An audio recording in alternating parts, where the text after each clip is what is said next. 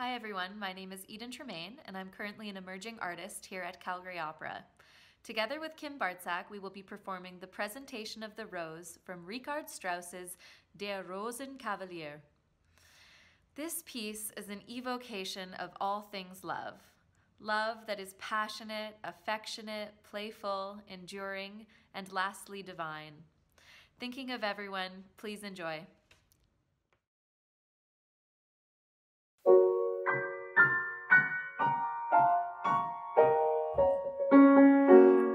Ich bin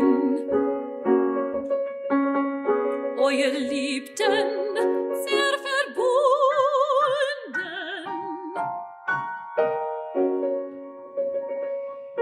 Ich bin